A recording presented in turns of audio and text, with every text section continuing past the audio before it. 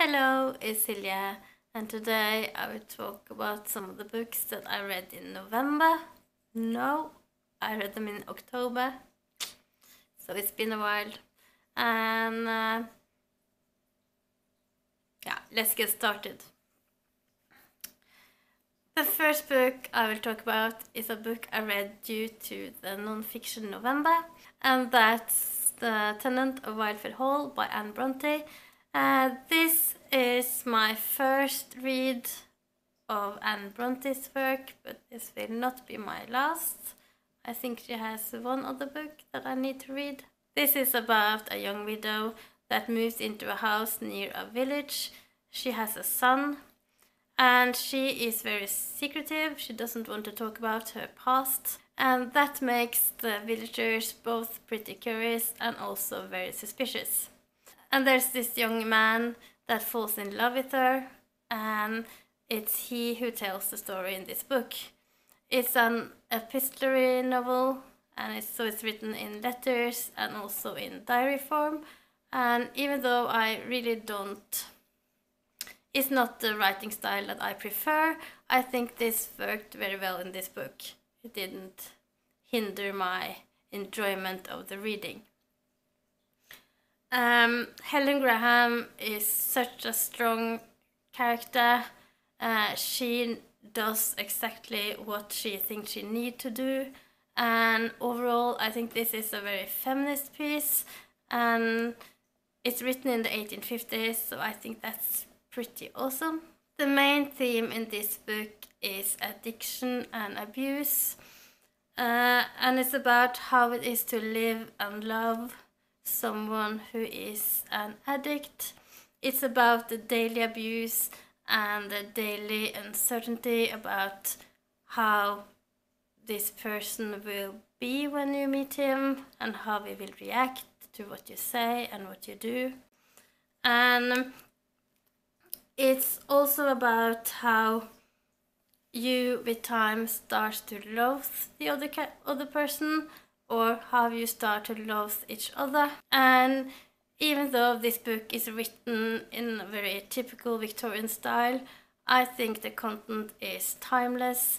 I think the content is as valid today as it was in the 1850s, and I think that's why this book is a classic. It stands the test of time. I am really fond of Emily Bronte's book, Wuthering Heights, and all the passion and all the madness in that book. And this book is much more down, I think, but I still really loved it. It made such a great impact on me while reading it, and it made me both cry and angry and yeah, everything. So if you haven't for some reason read Tenant of Wildfell Hall, I think you should because it's a really good book and a really accessible classic. So this is the first book. The other book I read, or it's not the other book, but the other book I would like to talk about is a book that I read in the Spooky Reading Challenge hosted by Restricted Section and Becky. And that's My Best Friend's Exorcism by Garth, no, by Grady Hendrix. And this is a horror novel, as a Spooky Read, but I think it's more a book about growing up. It's a coming of age story, and it's about friendship and how you become friends and how you might grow apart when you are hitting when you are hitting a certain age. As you can see by the cover, this is set in the 1980s.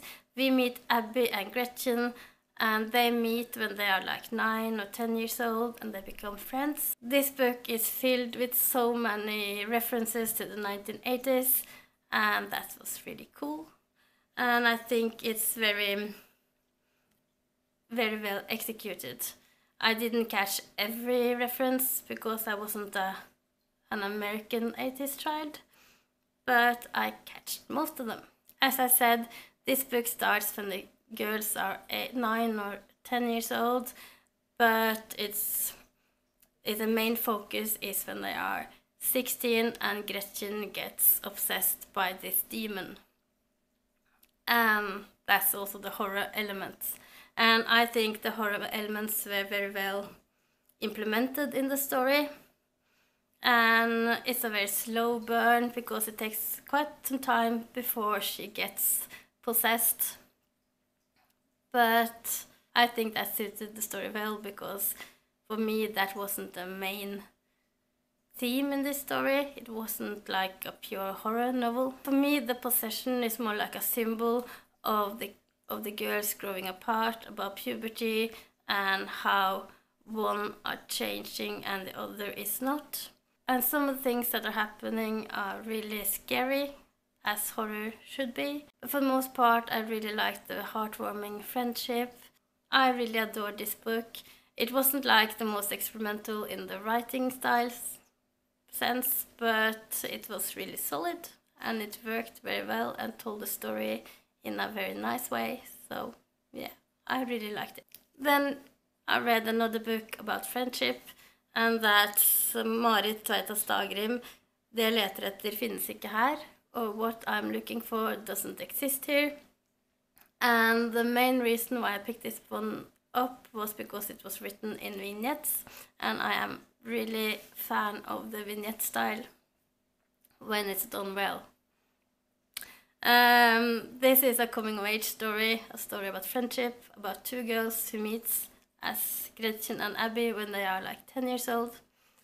And the main focus of the story is when they are 13, 14 and go and are students at um, junior high.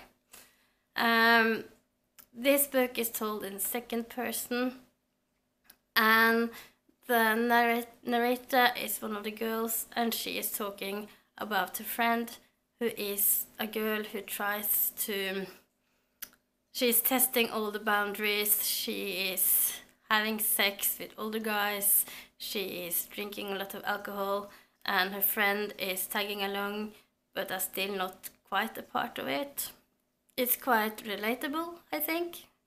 I think many of us have had friends like that. Uh, but at the same time, I don't think the author is adding something new to the story. So I feel like I have read it all before. It's nothing new. Uh, also, I am not very pleased with the way she uses the vignettes. I think when you choose to write something in vignettes, it's a very minim minimalistic style. I think every line has to matter and every line has to strike a punch. And in this book, there are too many lines and too many pages that doesn't add to the story at all. And for a book that's very short, yeah, I'm disappointed. So, uh, it's not a bad book, but it could have been so much better. The last book is a collection of poetry. It's also a Norwegian new release. It's called Så faller or Then I Fall by Rebecca Wexelsen. Uh, this is kind of a strange collection of poetry because I don't think any of the poems stands on their own as poems, but as a whole they are telling this heartbreaking story. is told in the second person as well, and there is someone telling her daughter about her life and their life together. What I liked the most about this book was the slow way she was revealing what's really going on. Uh, you are left, while you're reading this book, you're left in some kind of confusion. You don't really know what she's trying to tell you, but when the final line is told, it really hits you and it makes this book well worth reading. And even though the poem the poems don't stand very well on their own, they are beautifully written and they're part in the puzzle. So I really enjoyed it. So here they are, the books that I read in October. And have you read any of them? Please let me know. And I'm also very curious to hear what you have been reading. And yeah, thank you so much for watching and yeah, see you later. Ha!